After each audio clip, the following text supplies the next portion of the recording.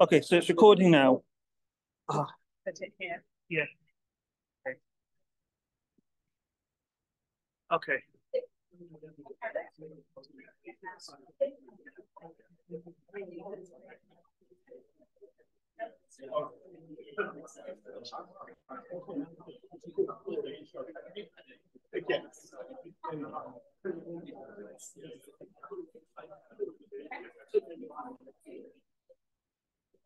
Well, good good evening, everybody. I'm sorry for the delay. We had a bit of Zoom trouble, but we're now just sticking with an audio recording on my telephone. So much simpler. Well, it's an immense pleasure and honour to welcome David Bentley Hart to Cambridge. Like almost no other living theologian, David enjoys a reputation as a great man of English letters, with a global reputation not just for theology, but also for philosophy, contemporary cultural debate, literary and aesthetic commentary, and creative writing. It is very difficult to exaggerate concerning David, and even his own exaggerations concerning himself turn out, to the dismay of his various foes, who all do him proud, to be understatements. Who can match the range of his linguistic competence and his knowledge of the literature of many languages, East and West? Who can match the depth and range of his linguistic and historical erudition? Who can compete with his capacity or polemic, and yet the vast and generous range of his specialisms and interests? What marks David out from his competitors in academic scope is the way that his sympathies entirely break academic bounds. For he is also an expert on many sports, as we've been discussing this afternoon, and many realms of popular as well as classical music. Does he ever sleep? I find myself wondering.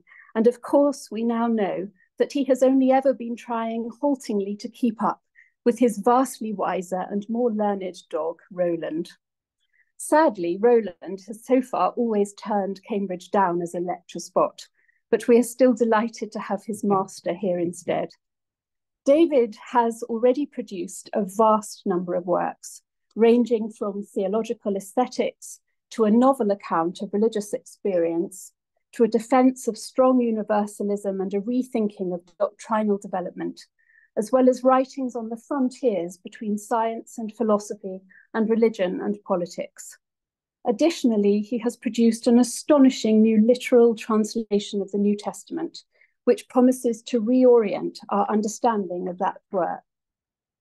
In one dimension, the current series of lectures builds upon that translation and David's accompanying reflections.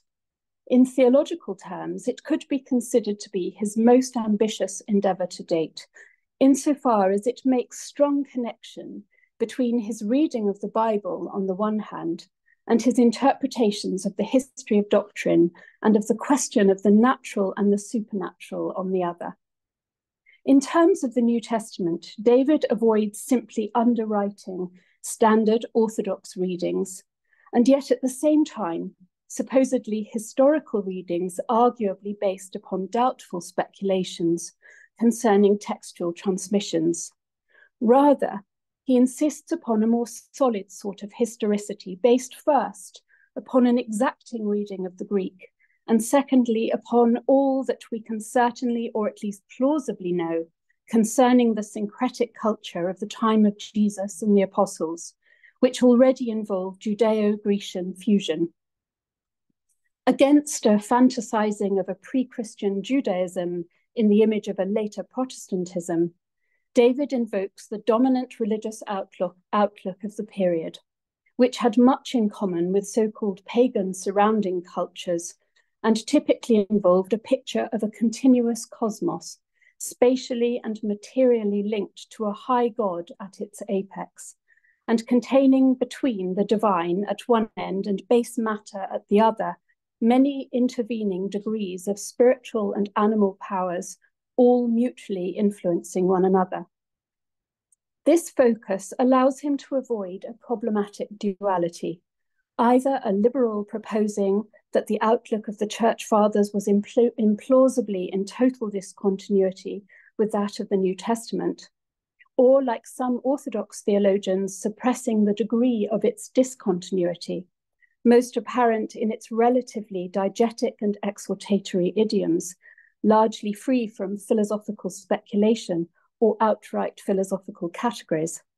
Rather, David shows how the vertical or speculative concerns of the fathers are anticipated by the often apocalyptic focus of the New Testament, with its accompanying concerns with mystic initiation and the disclosure of a higher and hitherto secret wisdom, while the change to a more reflective idiom nonetheless tends to mark a certain rupture, which slowly eventuated. In all these respects, David is already performing an important service to the discipline of theology by healing the damaging division between biblical scholarship and theological speculation, but showing how this can be achieved by overcoming an outlook upon the Bible, which has never escaped Latin, Protestant, and modern biases of certain kinds. When these have been overcome, then the profoundly complex theological character of the New Testament becomes more apparent, along with the challenges it offers to some received theological views. The sense that David is charting a new path between old and sterile oppositions is sustained in terms of his approach to theological doctrine, neither a liberal revisionist nor a rigid insister upon the perfection and completeness of received creedal formulae. With blunt historical accuracy and analytic acuity, he suggests that the Chalcedonian formula said little different from its main rivals if it managed to say it more elegantly. Beyond this, it remains a matter of continuously contested interpretation of the meaning of nature and persons and so forth. The cleaving of a new path in this respect is most apparent in David's negotiation of what one can broadly call the Arian question, and how he links this to the question of continuity and discontinuity with Scripture. Building on the work of Rowan Williams, he argues that what became the Orthodox Party were at first the radicals, revisionists, and innovators. The Arian perspective, for which the Son was a lesser emanation from God who had become incarnate on earth, was more in keeping with the shared cosmic outlook of the period, as already described, and yet, David is not in any way questioning the rooting of Orthodox doctrine in the Bible. On the contrary, he insists that the New Testament contains many statements that connect Christ with the Godhead in itself in an anticipated way. It was attention to these statements which in part accounted for the later patristic shift to the equality of the Son with the Father. Again, like Rowan Williams, Hart insists that this revision with respect to Christ involved also and inevitably a metaphysical revision. If the divine could only be on the uncreated side of the ontological divide, then this divide becomes more absolute.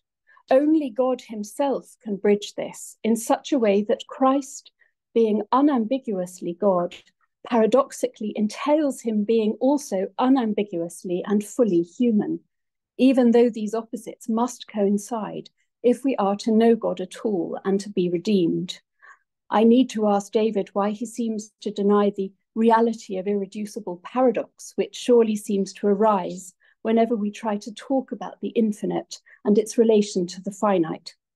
It is at this juncture that David makes novel links between the Orthodox revision and the later and contested trajectory of Christianity. To begin with, in the New Testament, we have, as C.S. Lewis noted, an unprecedented fusion of the mythic with the realistic, in such a way that the most mythic gospel, that is John's, is also the most concrete, as David notes. It is this fusion which gives rise to the sense of incarnation, and yet within the mediated cosmic vision such as to imply an Arian version of incarnation, despite the radical moments of the New Testament that point beyond this.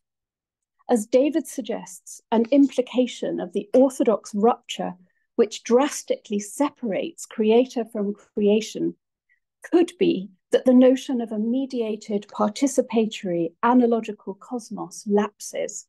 In the course of Christian time, this occurred in various degrees from at least the 11th century onwards, but David clearly does not see this loss as desirable.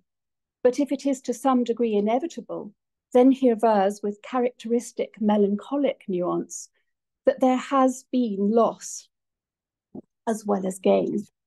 One can be sure that he is thinking here of the Pipes of Pan chapter of the Wind in the Willows.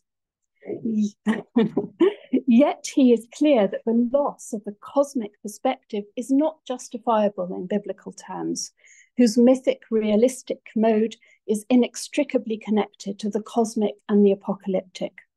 As David argues, not only is there no contrast of disenchanted nature with extrinsic supernature beaming in from beyond in the New Testament, there is not even any clear philosophical category of nature.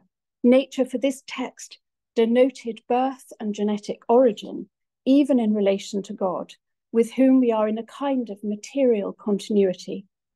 It follows that a residue of our born kinship with God, in contrast to our ultimate difference from Him, reappears throughout Christian history, just as the divine human being of Christ can be understood in more drastically unitive and cosmic reaching ways, as opposed to those readings which tend to emphasize the discreteness of the natures, and so thereby to displace the focus of theology from incarnation and deification to the arrival of grace and human passivity in the face of grace. And indeed, David suggests that in Origen, we find sustained a balance between what will become speculative orthodoxy on the one hand and a sustaining of the cosmic and mythic on the other, which undergirds Origen's invention of most of the norms of Christian biblical exegesis and mysticism. What might be suggested here is two things. First, the key to reintegrating the biblically cosmic with Orthodox Christi- Christology to espouse Paul's indication of a pre existent humanity with divinity of Christ that is intrinsically bound up with the mediating roles of the great angel and eternal Adam. Secondly, that when he sees the incarnation as the ultimate theurgic descent of the divine into our human rituals, in default of the capacity of mere theoretical reflection to reach God, then it becomes perhaps more possible to integrate the notion of an unmediable gap, nonetheless, with the magic of cosmic mediation. If God alone can descend and mediate, then the intermediate powers, the saints and angels, are all the more able to accompany him in this task. Though God's redemption alone is enough, this includes and does not render superfluous the aid of the manifold others any more than the existence of mm. God renders the existence of the creation, which belongs to him as his work, unnecessary. But I imagine that these very Russian suggestions will be much to David's taste. I now hand the floor over to him.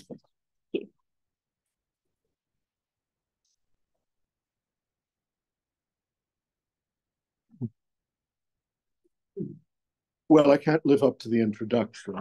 Um, so I'll simply say thank you and, uh, and thank you for inviting me. Uh, it's a great honor to be delivering these lectures. Um, I was hoping uh, in in what what's to come in the in the days ahead to be as provocative as possible, um, but I'm not sure I succeeded. So I have to ask you your, your pardon in advance if any of this fails to be scandalous. Thank you again for that introduction. I, I would like to begin uh, with a quotation from Acts. It's a very um, it's it's one we all know. En aftogar zomen ke In him we live and move and are, as indeed some of the poets among you have said. For Esmen, jenos un theu uk ophidoman nomisim Chriso. Um, for we two are of his race. So being God's race, jenos, race, offspring, family, genus, we ought not to suppose dot dot dot. Excuse my demotic, by the way. Um, I'm I'm constitutionally incapable of pronouncing Greek any other way. In this first lecture, I, I would like to pose just a, a series of questions of a slightly provocative, but I hope not irreverent nature. I know that what I want to talk about has consistently proved to be perhaps the most volatile topic in Christian theology in the history of faith. No debates have been more contentious or more catastrophically consequential than those concerning Christology. Among all the issues that have, down the centuries, divided believers and afforded them opportunities for despising one another, uh, at least those especially uh, adamant on how we should formulate the unutterable or express the ineffable, none has resulted in greater institutional fragmentation, political disarray, and religious dissension than has that of the unity of all things in Christ. And the mischief continues down to this very day.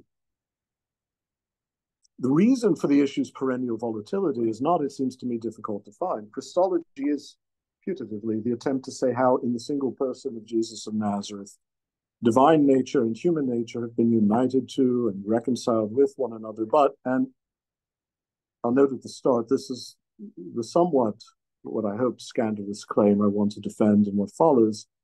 Such a project can never arrive at a wholly satisfactory conclusion, not simply because the mysteries towards which it points exceed our understanding, but also because the very terms in which it has been conceived and phrased are probably inherently inadequate.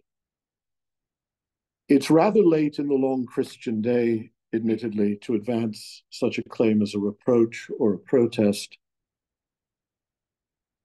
I'm certainly not advocating some great revision of the tradition's established language. Two natures in one person has to remain the basic grammar of Christian confession.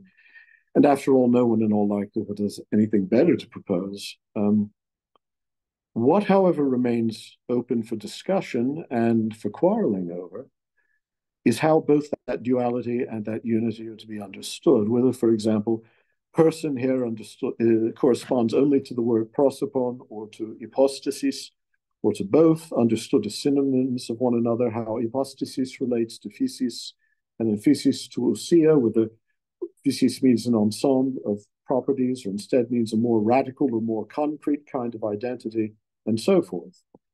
And I suspect that such questions are inherently unanswerable, uh, in part uh, because of a fundamental inadequacy, as I say, in the various resolutions towards which the Christological controversies of the high patristic period, period increasingly forced all factions, uh, but also, but also in part because it's precisely the indeterminacy of these words that allows them to function uh, as doctrinal rules of usage. That happens twice in every lecture these days. Uh, we will have advanced as a species when it's down to one. We've, we've mastered the technology that no longer masters us, but we'll never entirely overcome our, our, our machine overlords. Certainly, the official formulae of, of Chalcedonian Christology succeed no better at affirming both the full divinity and the full humanity of Christ than do the rival formulae of Coptic and East Syrian traditions, when, of course, the latter, those latter are viewed in the context of Alexandria's or Antioch's native philosophical terminologies. Chalcedon merely established a theological and doctrinal syntax sufficiently vacuous at once to allow, yet also to frustrate, any more ambitiously replete conceptual semantics. And even then, the compromise failed. The more vigorously the vying parties strove to assign exact meanings to the words they all variously employed, the more the debates tended to generate verbal distinctions that made no conceptual differences save of the vaguest kinds the whole process culminating in differences of a far more radical, far more pernicious nature, to be honest, real and permanent divisions within the body of the faith. Now, while those controversies were probably inevitable, the doctrinal vocabulary in which they were prosecuted probably was not.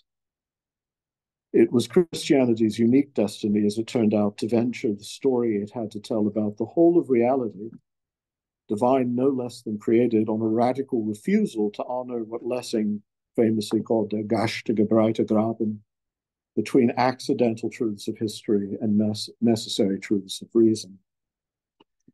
In fact, though, far more than mere rationality and rational universality were at stake.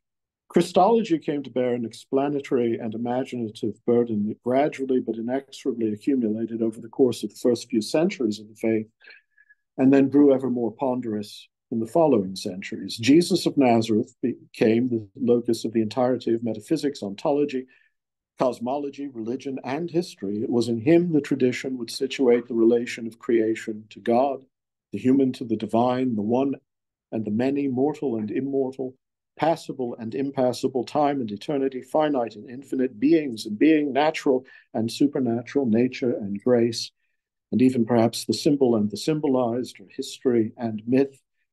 And hence in him also it would discover with ever repeated astonishment the place where all these distinctions uniquely and mysteriously achieve an ultimate indistinction from one another in a single event and a single identity. From the period of the Nicene Council, moreover, first through the official defeat of Arianism and then through the defeat of its ever waning echoes in Eunomianism and other conservative theological factions. This total venture became all the more radical in its implications. In the intellectual world of the three centuries before Nicaea, especially in the eastern half of the empire, and most especially in the ambit of Alexandria, almost the entire educated class, pagan, Jewish, or Christian, had presumed the existence of a derivative or secondary divine principle and had embraced what one might call a subordinationist ontology. It's an overused word, but there's none better available of the relation of the sublunary, celestial, and supercelestial realms. And one has to keep in mind all three for the time. Um, almost every system attempted with greater or lesser complexity and with greater or lesser mythical adornments to connect the world here below to its highest principle by populating the interval between them with various intermediate degrees of spiritual reality. The earliest Christians could not think of God's heaven as some reality utterly discontinuous with the material cosmos. The distance between God and creation was not merely spiritual, but spatial, or, or rather, the spiritual and the spatial were not as yet clearly demarcated from one another. Within that continuum, moreover, no absolute distinction was drawn between creaturely and divine natures except in terms of eminence of power. Much less was any drawn between nature and supernature, the latter not being a biblical or ancient category in any meaningless in any meaningful sense. Sorry. The word theos was as yet a predicate, not a proper name, and even the distinction between the divine and the creaturely could be marked only inexactly as a broad and graduated interval comprising several emanated or deputed degrees of divinity progressively diminishing in scope and capability as they descended the spheres. The celestial distance separating the earth below from the hyper-Uranian realm, the supercelestial realm, that is the Father or God Most High, was thronged with countless powers, principalities, and divinities. Gods, daemons, angels, stars, what have you who in the thinking of the time occupied a rather equivocal station between the divine and the creaturely within the one order of nature. That ambiguity was evident even in the special reserve of the arthrous and uniquely proper title Ho Theos to designate God Most High, as distinct from the anarthrous secondary and somewhat honorific title Theos, a semantic cordon that was something less clear than, say, what later centuries would define as analogia entis, or then the difference of being from beings. It was rather more like the simple rule of primum in aliquo genere, the principle that in every genus there is one supreme instance that possesses per se the true essence of that genus, and that therefore it is the prime source and cause of that essence in all its derivative instances. In the late antique vision of things, God Most High enjoyed a hazily liminal supremacy, at once transcendently containing the totality within himself, and yet himself falling within its compass. With the triumph of the Nicene synthesis, however, an entire, exquisitely elaborate but conceptually inchoate picture of reality was destined to dissolve. Arius had clung quite understandably to what he regarded not only as immemorial Christian orthodoxy, but as the sole theological model adequate to preserve a proper sense of the Father's transcendence, which he and many others could imagine only in terms of the ontic supremacy of the unrivaled one who dwells in light inaccessible, there above the unreachable beyond. He and they took it to be the testimony of reason, tradition, and scripture alike that the Logos was the highest of heavenly powers, perhaps the angel of mighty counsel, perhaps Michael, the commander of the heavenly hosts. And there's ample reason uh, for such titles in Matthew and Mark and 1 in Luke. Perhaps the heavenly high priest or Coryphaeus, but not God in the most proper and highest sense.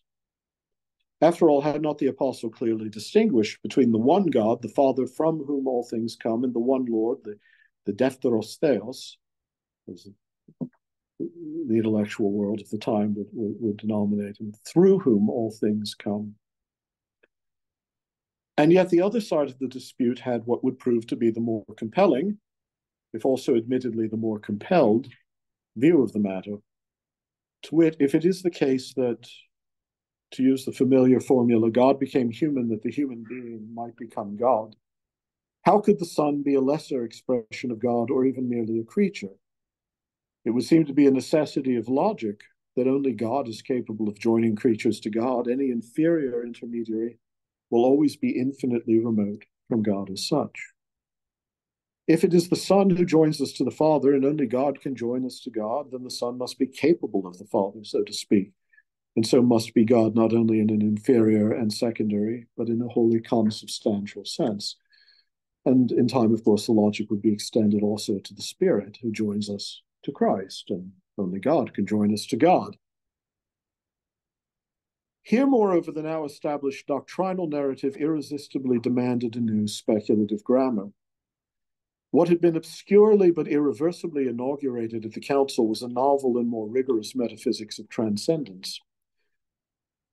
In affirming the consubstantiality and co-equality of the persons of the Trinity, Christian thought had also affirmed that it is the transcendent God alone who gives creation being, not through a necessary diminishment of the full divine presence, and not by way of an economic reduction of the highest divine power in lesser divine principles, but as the infinite God who is nevertheless present in the finite by an absolute immediacy of act.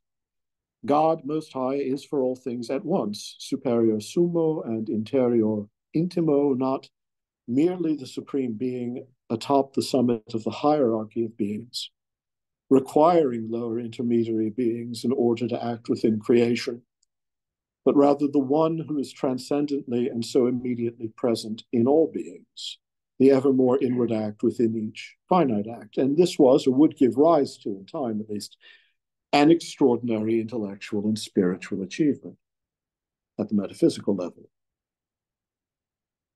We gain by losing, of course. That line was more powerful before you gave it uh, uh, uh, proleptic, but we gain by losing. Much had been gained, clearly, above all, a more radical sense of the intimacy of God's presence to creation. But something of singular imaginative beauty was as a result progressively abandoned. That initially inconspicuous but ultimately vast metaphysical revolution had resulted from a long and intense contemplation of a specific, concrete historical event. And this meant that the theology of this newly grasped divine intimacy in the story of creation and salvation would be articulated primarily in the medium of history, not of nature. And then, too, whether accidentally or necessarily, the shape of nature in its fullest analogous range, the whole cosmic order of life, would come to be altered in Christian imagination at first subtly, but in time drastically. With the overthrow of the older subordinationist theology, the late antique cosmic vision, with all its generous imprecisions and its minutely graded tiers of natural divinity, and divine naturality and its radiant participatory hierarchies increasingly became ever more otiose and even something of a distraction. Mind you, it was not inevitable that all those uh, luminous and genial presences would have to depart, and nor did they do so all at once. For many centuries, angels and saints would continue to man the heavenly battlements and ward the sacred places here below. There's a, there's a wonderful article by Peter Brown from many years ago that argues that it wasn't really until the 11th and 12th centuries that late antiquity's luminous community of mediating powers began their long recession out of the larger cultural imagination. But even then, the angels had had by that time already been largely stripped both of their powers of cosmic superintendence and the somewhat ambiguous autonomy they had enjoyed in the Second Temple Jewish and early Christian periods. I'm not saying, incidentally, that the seeds of a disenchanted world have been planted or nurtured at Nicaea. What I do wish to say is that the post Nicene synthesis required ever clearer and stricter delineations between the divine and the created. Neither the difference between creatio ex nihilo and mere demiurgy, nor the difference between divine begetting and divine making could any longer remain comfortably uncertain. And certainly the, the two differences couldn't remain comfortably intertwined with one another in a great, vague something. I've crossed out whatever word I originally wrote there, and I shouldn't have done that. So I have none in the tip of my tongue. The interval between the there above and the here below, which had for so long been a spacious realm of inexact and relative degrees of the divine and the natural, now had to contract into an inviolable line of demarcation. Even the older, more continuous ontology of the temporal and the eternal began inexorably to change into a bare relation between God's timeless now and the incessant flow of creation's becoming, the two set up hard against one another on either side of an impermeable metaphysical partition, unmediated by the gentle gradations of an intervening Aeonian or aeval realm, the heavenly Ivan, the heavenly Eon, the angelic Eon. The fully monotheist reserve of all language of Godhead for the transcendent God alone, which had not been a Jewish or a pagan or a Christian fait accompli in earlier centuries, was now a fixed destiny for Christian thought fairly enough. One that reached its first full expression in the language adopted by all parties in the controversies and continued to unfold for more than three centuries after the Nicene Council, and that even then reached not so much a resolution as an armistice. As Rowan Williams and others have astutely observed, the more the full divinity of the Logos was proclaimed, the more also the full humanity of the incarnate Son had to be asserted, lest the presence of God in Christ be mistaken for a divine substitution in Jesus for some element of his humanity, such as his soul or mind. By the end, everyone had to grant that Jesus of Nazareth possessed not only a human body, but also a human soul in all of its natural aspects.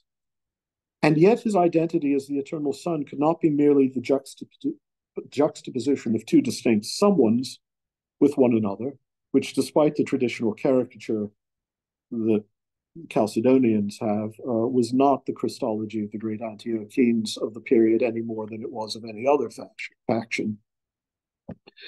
The notion of a god or angelic being veiled in flesh or of a man animated by some alien divine faculty was no longer able to bear the full weight or splendor of the newly established Christian confession.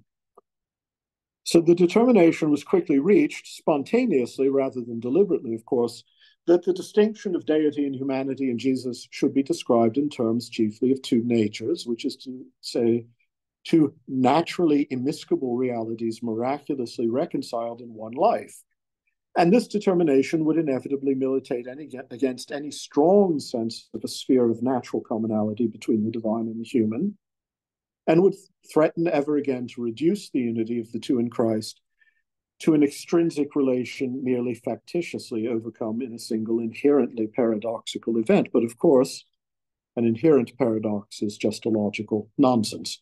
I will pause here to explain that, that an inherent paradox as opposed to a paradox that can't be uh, dispelled are two different things. um, paradox is, after all, something that seems to be contradictory but isn't. An inherent paradox is simply a contradiction glamorized as something mysterious. So, moreover, the language condemned theology to an often neuralgic even neurotic anxiety to shore up the ramparts, dividing the two natures with ever more impregnable devices.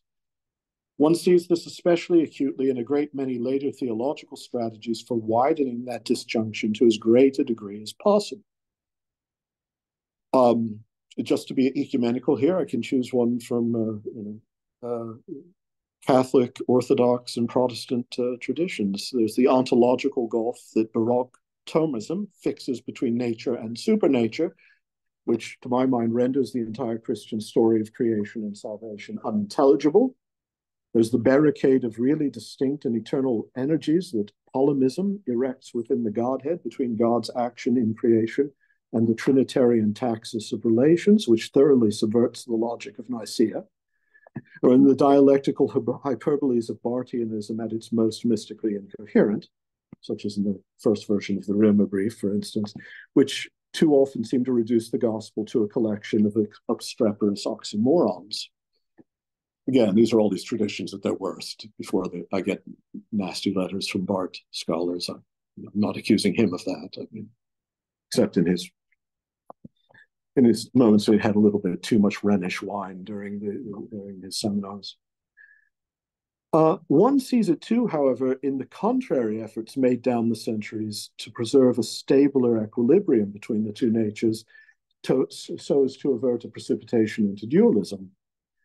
Um, you know, hearty embrace of Neoplatonic metaphysics, uh, an analogical ont uh, ontology, uh, sophiology, uh, and so forth. Yet from all this welter of divergent theological impulses, no clear consensus has ever actually emerged. I think we sometimes think one has. I mean, we tend to think of Chalcedon as a consensus, but it's a consensus rather like the omerta of the mafia in some ways. You know? so, I don't want to sleep with the fishes. Come to think of it, in fourth century Alexandria, that's exactly what might have happened. But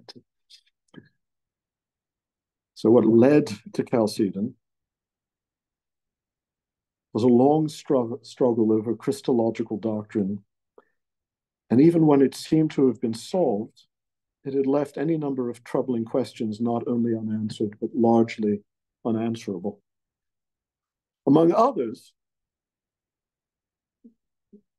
uh, the question whether it really made sense to speak of the creature's transformation in Christ both as utterly gratuitous and yet also as the consummation of the creature's inmost nature. The great unanswered question, for instance, of manualist Thomism, or rather answered badly, wasn't unanswered, unfortunately. None of this was logically inevitable.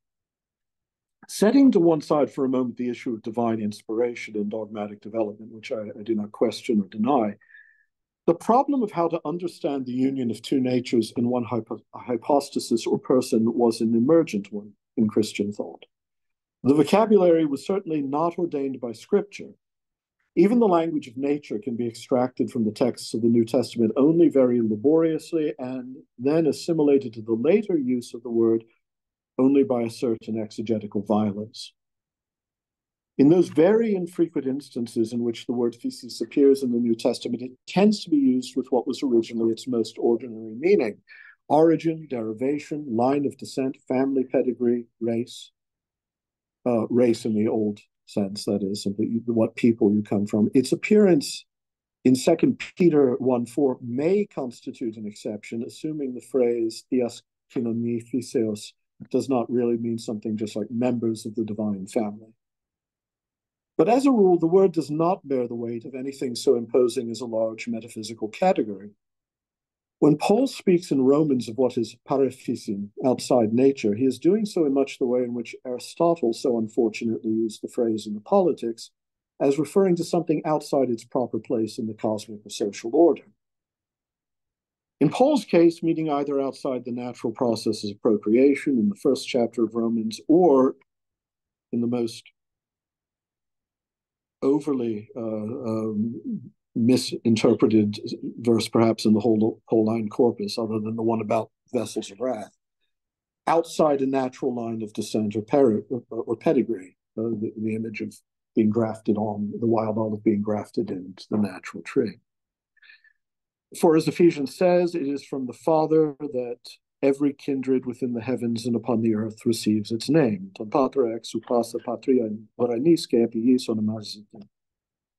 All spiritual beings, whether below or above the moon, whether on the earth or among the planetary spheres and fixed stars, share in a single divine and natural genealogy, a single genus or kind. Kind. I, I want to point out, by the way, I mean, iparchontes to theu, notice that. Um, in that acceptation, Physis delivers little in meaning from Yenos, the, the way in which Physis was used in Romans. And this brings me to those verses from Acts which I, with which I began the lecture, which recount the story of Paul favorably quoting someone, probably either Cleanthes or Aratus, the effect that we're all simply, insofar as we are human, God's race or offspring or family or genus. And then radicalizing the claim by speaking of us as quite literally God the, congeners of God Most High. The, the, the, the phrase he uses uh, is iparhontes tu thou, not iparhontes thou. Nota bene, the definite article in that phrase. This is not to deny that the New Testament distinguishes between the attribute, attributes proper to divinity, broadly construed, and those proper to the realm of generation and decay, the principal difference, however, is, for want of a better word, physiological. The difference between immortal and mortal frames, which is also, in a very real sense, a spatial separation. We've come to think of things' nature as something like its intrinsic essence. All for the best, perhaps. For Paul, however, and really for the whole of the New Testament, our essence does not necessarily differ in any significant way from that of astral intelligences or angels or heavenly spirits of whatever kind. He was a man of late antique Greco Roman Second Temple Jewish culture. Rather, our bodies, bodies of flesh and blood, of sin, bodies of death, are what separate us from that which is above, and it is our bodies that must be redeemed. Romans 3.23, our bodies must be redeemed. It may be something of a popular piety also among systematic theologians to proclaim that there is no such thing as a logos asarkos, and that nothing of the sort is implied by the prologue of the fourth gospel. Anywhere in the New Testament, that is, there's no such thing. Whether one takes that to be a plausible reading of the New Testament or of John, and in the latter case, I don't, as regards at least authorial intention. It's certainly the case that for Paul, there is and must be, at least after the resurrection, a Christos asarkos, a fleshless Christ, whom we know no longer according to the flesh, as otherwise he could not save us. Paul's quite clear on the matter. Flesh and blood cannot inherit the kingdom of God, God neither does perishability inherit imperishability. Uh, we spend many centuries pretending that the word sarx in Paul means sinful human nature, except that he's so explicit again and again that it means flesh the flesh that can die. It's precisely by his, that is Christ's, having set aside the composite, inherently perishable, animated carnal body, the soma psychikon, and assumed instead a spiritual body, a soma pneumatikon, like that of angels, that Christ has been transformed into life-giving spirit.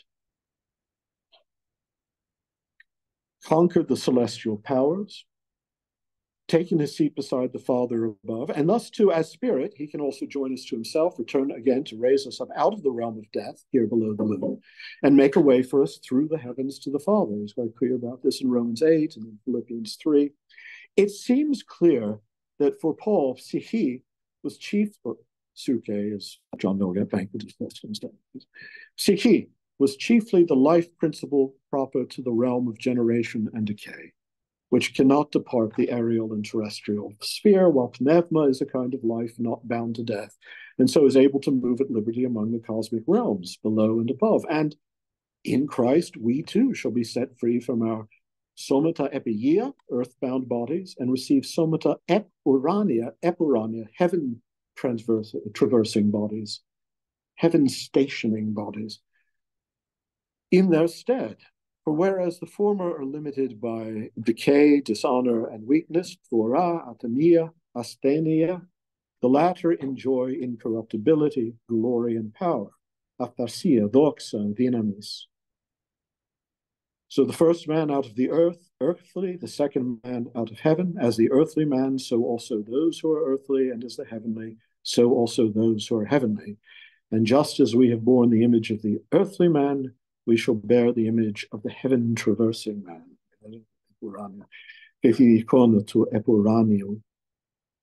This is for Paul nothing less than the transformation of the psychical composite into the spiritual simple, the metamorphosis of the mortal fleshly body that belongs to soul into the immortal fleshless body that belongs to spirit. We shall be changed, for this perishable thing must clothe, it, clothe itself in imperishability. And this mortal thing must clothe itself in immortality. So then, much of the hope of the early Christians falls wholly in line here with many of the highest spiritual longings of, great, uh, of Greco-Roman late antiquity, Jewish and pagan alike, divinization through the assumption of a glorious and immortal form, ascent through the ethereal heavens, assimilation to the state of angels or daemons or gods or stars, entry into the highest sanctuary in or above the heavens. Again, we today may think in terms of differing essences or natures distinguishing gods, angels, and human beings from one another. But in the New Testament, the primary distinction is merely one of corporeal condition. Even in John's Gospel, Jesus differs from other men in part because he descends from above, and thus his flesh, unlike the mortal flesh of those from below, is an eternal heavenly manna.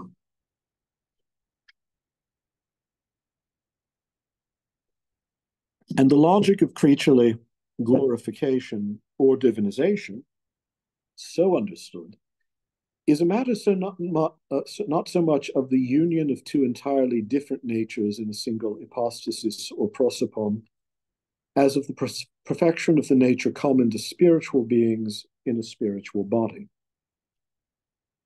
The flesh, Paul tells us, is but a terrestrial tent in which we groan with fervent longing to be clothed instead in uh, uh, to be clothed instead in our celestial dwelling, so that we should not be found exposed and naked, and so that what is mortal within us might be swallowed up in life. To be raised is to have the body of abjection conformed to the body of Christ's glory. As of yet, the language of two natures is at most a premonitory shadow or a ghostly implication within the deeper logic of the text taken as a whole. Very well, then. That would seem to be the issue. That deeper logic, which again, I'm more than eager to affirm. I, as I said, I'm trying to raise the questions here, not, not uh, present a final picture. The New Testament's predominantly somatocentric theology of resurrection and glorification is most certainly in keeping with many of the most broadly shared religious aspirations of the Hellenistic world. Perfectly continuous with both pagan cults and Jewish Second Temple mysticisms of heavenly ascent and divine or angelic metamorphosis. But at the same time, the New Testament language of glorification in Christ that pervades the New Testament includes many promises that seem far to exceed the more common late antique motifs of divinization or glorification, seeing face to face, knowing even as we are known, being filled with the whole pleroma, the whole fullness of God the Father. Again, ho theos in Ephesians 3.19. Indwelling and being indwelled by him who is himself in the Father, according to John, and so becoming like him and being able to see him as he is, which is probably means see Christ as he is, but that on the heels of assertions that uh, to see Christ is to have seen the Father, or being made one in the oneness of the Father and Son and receiving the glory they share eternally. Even perhaps in Matthew, the pure hearted being enabled to see God, ton theon opsontai. I mean, again, at least the definite article is used there. Here, it seems reasonable to think we're talking about something more than the mere elevation of spiritual beings out of our mortal world into the immortal company of their spiritual kith on high. These promises seem to point toward a real union with the transcendent God, and surely this, one could argue, authorizes language of a union and a miraculous commerce in Christ, and so in us, between two utterly distinct natures. And perhaps it does. Even so, such language, and this is the point I'm chiefly trying to make here, is still the imposition upon the texts of a category neither native to them nor necessarily compatible with the language they do, in fact, the scriptures that it, in fact, do, in fact, employ. It's certainly very different from the bold familiarity or even, you know, more precisely, the familiality of the language of a single divine and human Yenos.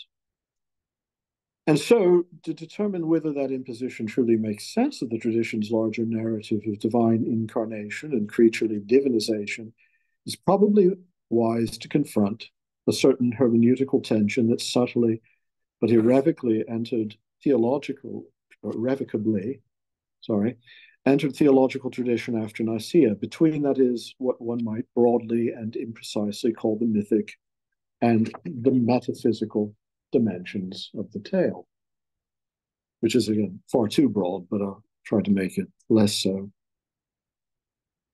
a little earlier in this lecture, in this lecture, I'm still a bit uh, jet lagged. Forgive the, occasional slip here. In my previous uh, remarks on it earlier in the lecture, I, I suggested that the identity of Jesus of Nazareth for Christian tradition constitutes a unique point of indistinction between myth and history. And this seems obvious, really.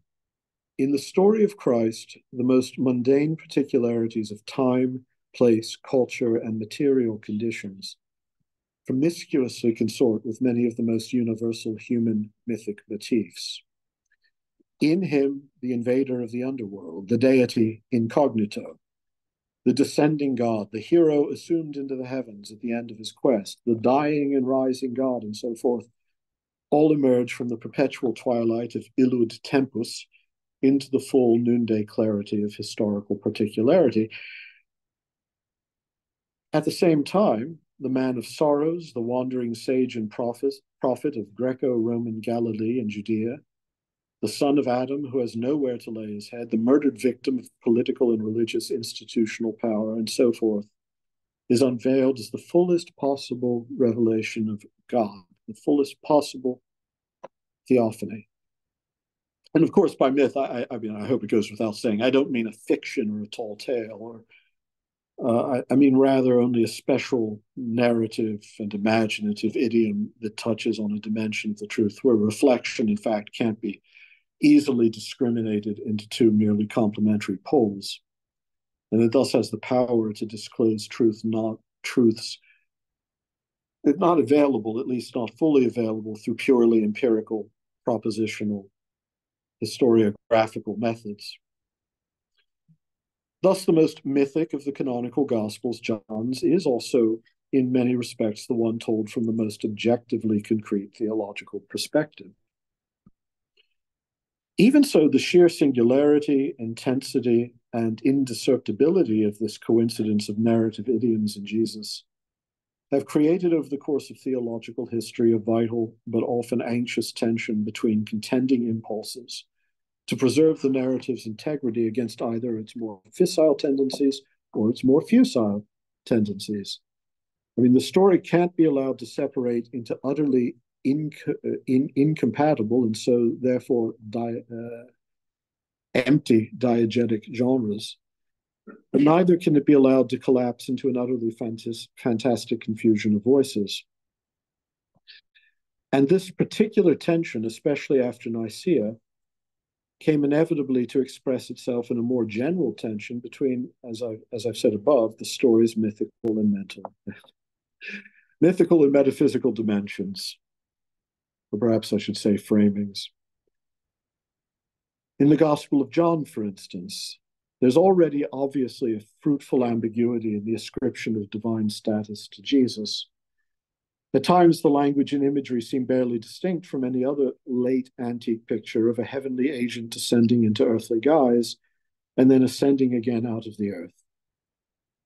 At other times, however, the language and imagery point toward a real unity of Jesus with the transcendent God, the Father of all, even to the point of full equality, as when Thomas says to the risen Christ, O Kyrios mu ke o mu, my Lord and my God, again, both this time with, with the definite article.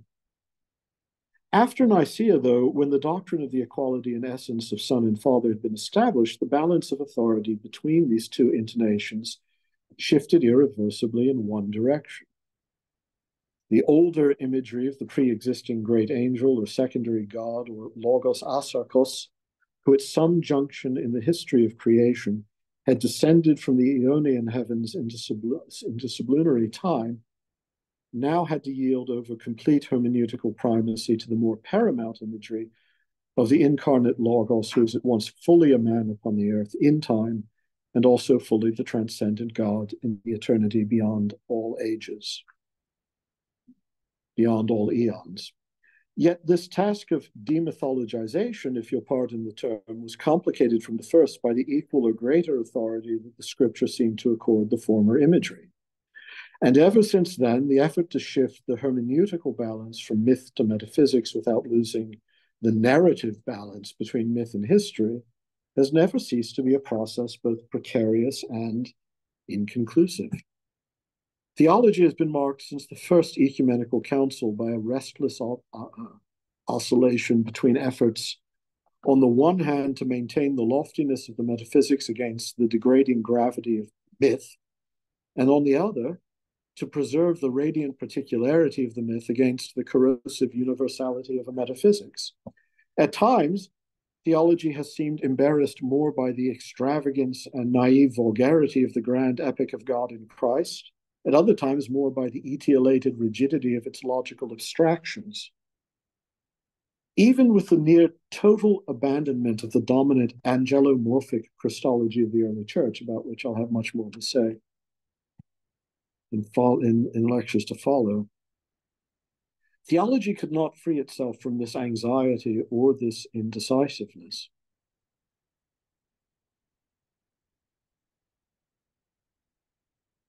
Thus, over the centuries, an impulse toward constant and frequently necessary re mythologization of the story has been every bit as prominent a part of the tradition as the impulse towards demythologization. Again, I'm sorry to use those terms. Typically, the two, two impulses have been combined in a shifting, complex counterpoint in one and the same thinker. Even as austere and lucid a metaphysician as Thomas Aquinas, for example, could assent to the proposition that any one of the divine hypostases might equally well have become incarnate, which in one stroke severs Trinitarian theology from the scriptural and patristic logos metaphysics of the Son as the hidden Father's one true manifestation, the one true apaugasma, very clear, the one God manifest as opposed to God hidden, and also inadvertently substitutes tritheism for Trinitarianism. It's daring to say these things about Thomas, but I mean, you know, he's rather silly. Uh, the arguments he makes. Or consider, you know, the great Lutheran theologians of the last century. In the Anglophone world, certainly Robert Jenson, wonderful man, brilliant man. Still, they were undertaking a project that was curiously simul processus et recessus. It was going both at once forward and backward in, in, in, on the same path in this regard. At once affirming a fully historicized and, so to speak, humanized understanding of the, uh, of the divine identity of Christ. Shorn of all the gaudily exotic, Asiatic, Magian, Hellenistic, apocalyptic appurtenances of the tale of a descending celestial divinity from late antiquity, but only so as then radically to mythologize the Father in a kind of theogonic and somewhat German idealist register, describing God the Father as some fantastic, omnipotent, deliberating, quasi psychological subjectivity whose eternal but willful Urentscheidung, original decision to determine himself as Trinity, was accomplished in a real, reciprocally passible relation to the finite historical person of Jesus of Nazareth, which is sort of sublated, so to speak, in the spirit as sort of infinite futurity, as, as Jens, I mean, as, as Robert Jenson liked to put it. And I'm not sure that's any less incredible than the ancient angelomorphic picture. It simply fits the, the philosophical storytelling of a different epoch. So let me draw to a close uh, for this evening because I, this the first lecture is the shortest. Um, I've been trying to drag it out by trying to slow down to make it seem grander. I'm not suggesting, to be clear, I'm not suggesting that what became the dominant tendency in post Nicene dogmatics and theo- theology was in any sense haphazard or a violation of Scripture's integrity. For one thing, the mythic idiom is always already a way of conveying a truth that can never properly be captured in propositions.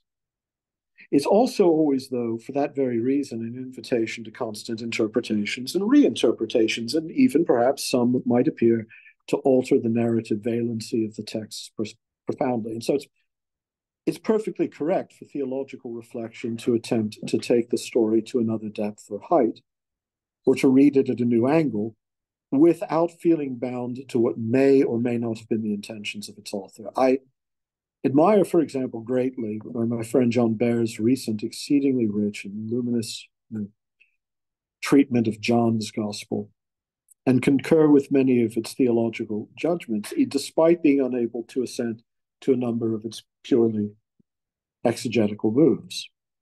For instance, I tend to believe that even if the term logos asarkos is a much later theological concoction, and even if authorial intention is ultimately impossible to prove, still the ad literam reading of the Johannine narrative, that of the logos becoming flesh, or the one from above entering the darkness below, I believe really is meant to be understood as involving a divine agent who enjoyed an Aeonian pre-existence before coming to sojourn in an earthly body. I think that's what the text is talking about. I absolutely agree with Behr that Jesus of Nazareth is not for John's gospel merely an episode in the course of the existence of the divine subject who ultimately shines out from Christ. And I mean, he's taking that line, of course, from Rowan Williams. It's not the episode in the life of a, of a divine subject. But I suspect that in another sense, the earthly existence of Jesus is presented in the gospel, mythologically is true, but not just symbolically, as an episode in the course of the life of the spiritual creature through whom that subject shines. And I'll come back to that in time.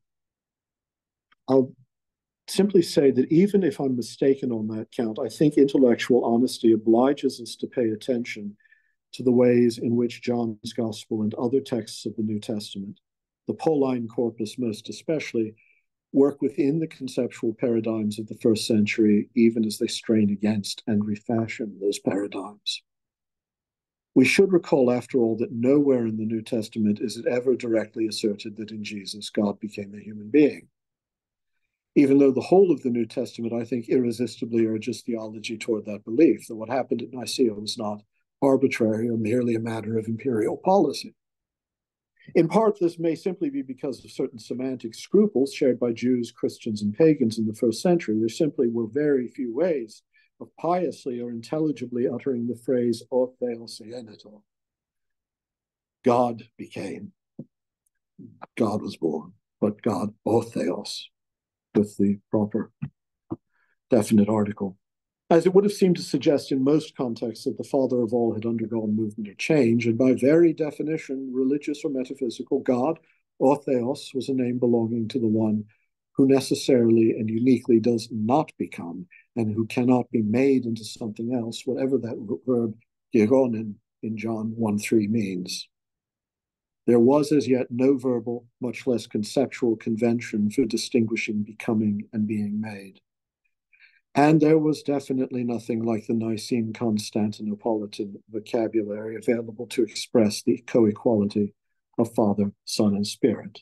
This is again not to say that the fourth gospel in any way denies that the incarnate Logos was fully human.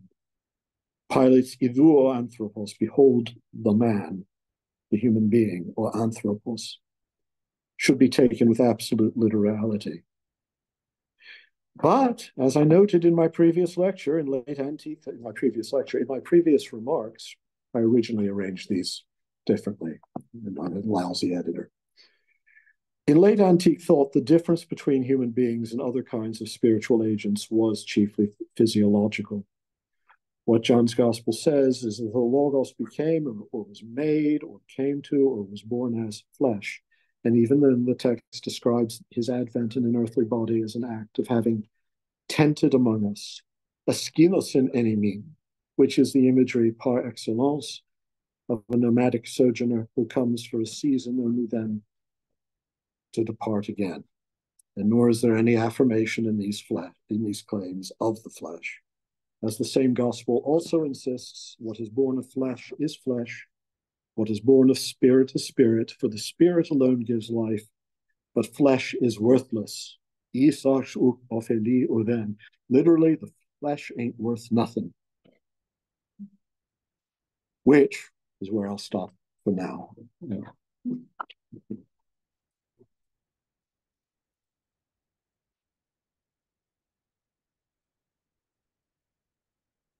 Um, thank you so much, David. Um, David has very kindly agreed to take a few questions. Um, so, um, are there any questions? Yeah. Yeah. Um, yeah, thank you very much. I would like to hear more about the relation of soma and sarx in terms of, let's say, this hyperbolic body, which is the pneumatic body. And in what sense there is sort of